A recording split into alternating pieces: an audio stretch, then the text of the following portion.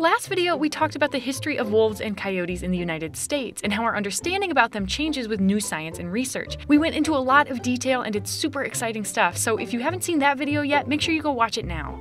But if you're still here, we're about to get into some pretty graphic material. That's right, electrical supplies.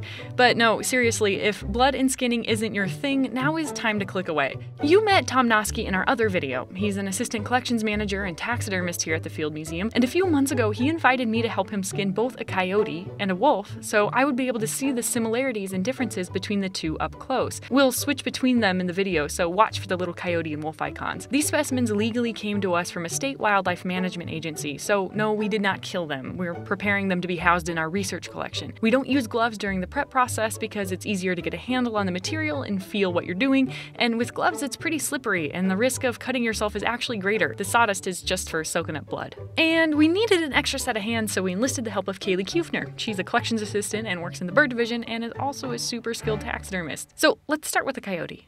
Then you can see that interface of the fascia.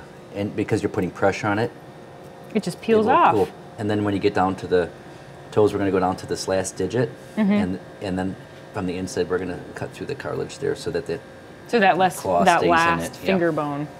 I don't think people think about that a lot, like how our uh, fingernails are attached on our last digit here. So when you want to declaw a cat or an animal, you're cutting that off, and so you're kind of leaving them with shortened fingers. Little nubs. Yeah, little nubs. on your side, Okay. and, and then on Kaylee's side, maybe I can actually help with that while she's.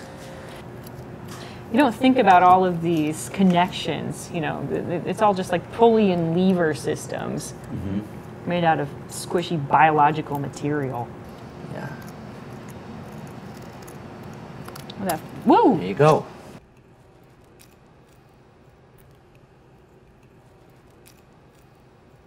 Do you guys see these little bones that I was talking about? They're like they're embedded within the tissue. They're not really articulated with anything, but they fit on top of the ridges of the digit bones, and it's really well lubricated, and it helps with that uh, efficiency. They go boo, boo. That's a scientific sound effect. We're on our way to the butt. you don't need to keep the butthole intact. This is a serious question. Is it a diagnostic feature for anything? I don't. I don't. I don't. I don't. I, assume can't, I anything can't answer anymore. that. I don't, I don't know think anyone so, but specifically studying butts. but Well, I was. but I was thinking. Okay, like like anal glands. You know, Yeah, like yeah. other ways that that animals communicate, and anal glands Right. and secretions is a big part of that. And so maybe somebody would need to know the circumference of the butthole. I'm just not ruling anything out here. Keeping an open mind. Yeah, mind no, and- it's a good. Every question's a good question. Back in Montana, when we skinned that wolf, we didn't really know what we were going to use the pelt for, but we knew we wanted to uh, keep the pelt. And this is different because you're not making any kind of direct cut. It's not like you're bisecting it or splitting it in half, but instead we're able to make a few more minor cuts on the outside, like along the back of the legs and the back of the tail, and then essentially invert it, like pull it off of the rest of the body without having to make a split down the midline or down the back. Um, and the reason that I'm doing the face while Tom is working on the legs is because by the time you would get all of the skin off down toward the face, the face has so many uh, particular delicate details that you really want to keep intact, like the eyelids and the tear ducts and the ears and the lips. And if all of that skin is just hanging down and you're essentially looking up into an inverted skin of a mammal, you're not able to see what you're doing. And it's actually a lot easier and it's more efficient. So when we were in Montana, it took us the better part of eight hours to skin a single wolf. Tom, is it safe to say you could do this kind of process with most large predators, like large, a big cat or a lion or a tiger or something like that, or a hyena, anything kind of of that size with that sort of head? It doesn't have antlers or horns. You could just do a case skin in a similar way. Absolutely. Okay. Yeah. Um, oops, he's bleeding. I need a bucket. And it is okay if it bleeds on the floor, Okay. just so long as it doesn't get all over your shoes. You know, there's times on the train I'm going home at night when I've done wolves all day, Oh, and yeah. you end up you smell like Like that horrible dog. smell. Yeah. And then you can tell people are looking around and like, Like, what is what that? is that? That's gonna be me today. on the train on the way home with blood on my shoes and probably like crusty, bloody hands or something. Someone, I'm gonna, someone's gonna think I murdered somebody. You can see here exactly where lips are connected to the jawbone. You can even see where that blood vessel's coming through out of what uh, a foramen right here, which is a little hole in the bone. Cut that off. You have to go really slow along the face because there's uh, not a lot of margin of error. There is no, uh, there's not a lot of muscle between the bone and the skin, and so you want to make sure that you cut just parallel to the bone in order to remove all of that skin. This is a pretty crazy visual. Isn't it? Yeah, Yeah. It's the best. Am I doing this right? Mm-hmm. Okay. Yeah, so I guess now you can just. Wow. I'm always surprised and amazed by how uh, intuitive it seems. You know, it's it's uh, it's almost like it just the anatomy gives you a roadmap for where to go. Mm-hmm. It could also be that it's genetically hardwired into your genome to Yeah. know this, because at some point, everybody, every one of your ancestors at some point was doing this, right? And I think that's what I what I like about doing this on the Brain Scoop is that it is so uh, counterintuitive to to what people think. I mean, it's it's something that it is a novelty now. It is something that happens only in the confines of museums and research institutions and for hunters and uh, that type of thing. I like. I don't even think about the fact that I'm practically kissing this thing right here. It's like, oh, hello. What Yeah. a visual. And then just its face comes out. I made that special effect noise, so it didn't actually, it doesn't sound like that. But that is wild.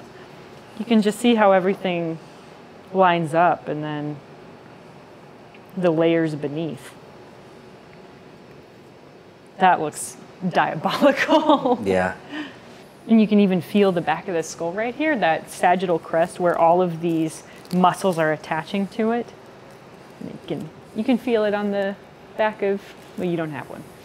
You can feel it on your dog's head. Because when I first started doing this, I remember being so fascinated by uh, the process and removing the skin and seeing what's underneath. And I remember I went home that day and didn't want to talk about it because I thought if I did, I'd sound crazy. Like I, I thought if if I was seen as enjoying uh, this kind of natural exploration of anatomy or whatever, that that it would be seen really negatively or like indicative of like what a serial killer would enjoy or something. And then I realized I just liked natural history, and there's Yeah. there's nothing uh, demonic about it. Right.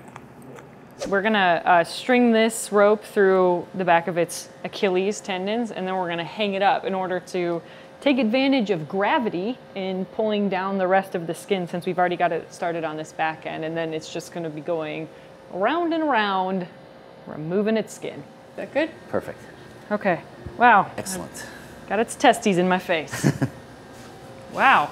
Do you guys smell that? Jeez. What is that? Just its musk or? Uh, yeah, I think so. It smells like a. It smells skunky like, but but almost like with a urine smell Yeah. And like I don't know. It's got a spicy sort of aroma. Oh my god, not gonna be easy. Okay, one second. I should have taken a, a ship class where they teach you how to dine. I should have been in the Boy Yeah, Scouts. this slips and falls. Oh no. Yeah, it's gonna be fine. Is that gonna be okay? Yeah. Oh wow. Good. Whew. I need to do some upper body. Wow, this is a great view. So we're gonna just cut. You're gonna cut around this here. Oh, I All see. right, yeah. Okay. So cut underneath the baculum, Yeah. which our viewers know as the penis bone. There you go. There we All go. right. Ah, he's free.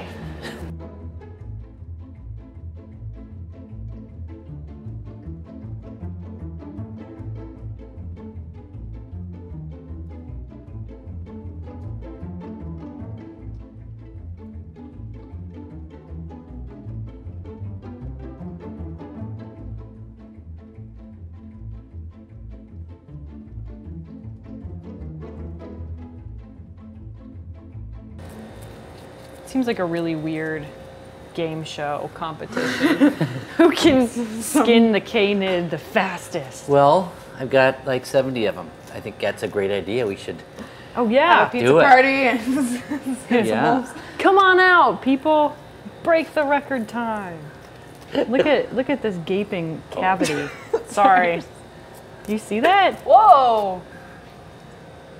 Like That's just a massive hole.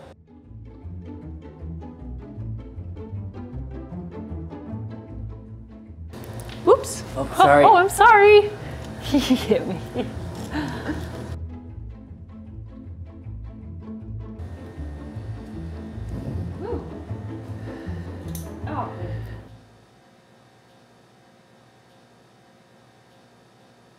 So here we have it. We have our coyote and we have our timber wolf. And what I really like about this is that we don't know. We don't know how they're going to be used. We don't know uh, if coyotes and wolves will be extirpated from the United States. We don't know what the populations are going to look like uh, 50 or 100 years from now, but they'll have this information, uh, future scientists, to learn about what they were doing now, today, at this point in time. Thanks, museums.